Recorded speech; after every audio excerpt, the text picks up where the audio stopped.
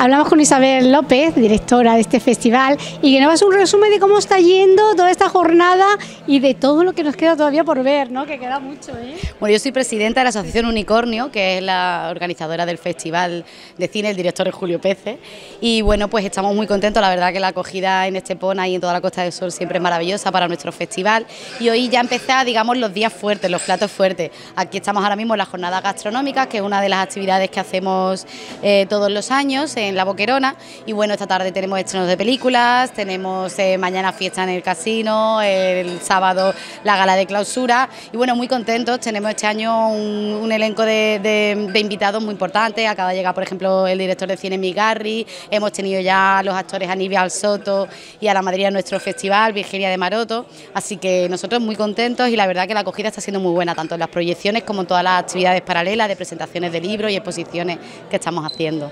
Jornada gastronómica estamos aquí por ellos también, que va a estar enfocado un poquito temático, ¿no? Eh, sí, todos los años el Festival de Cine tiene una temática. Este año eh, gira todo en torno al cine de asesinos en serie. Entonces, la jornada gastronómica, digamos que los platos que los, que los restaurantes han preparado, pues tienen que estar eh, pues pensados y, y diseñados para esas películas. Entonces, pues bueno, la verdad que es algo bastante original y que a la gente le suele, le suele gustar.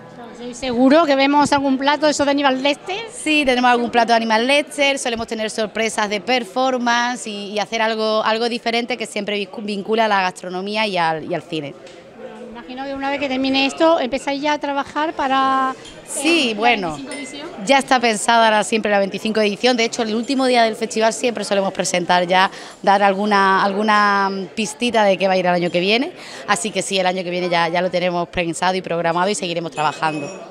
Pues muchas gracias y enhorabuena por este trabajo de cultural que tanta estación tiene, tanto en Estepona, en Marbella, en Menaví, bueno, en todos sitios, porque vaya hasta Málaga, o sea que... Sí, bueno, y pasamos fronteras. Este año se llevará eh, la presentación del libro hasta, Argentina, al, Festival de Mar de Plata y bueno, todos los eventos en los que podamos participar lo haremos. Y gracias a vosotros porque al final sois lo que le dais visibilidad a este tipo de actividades.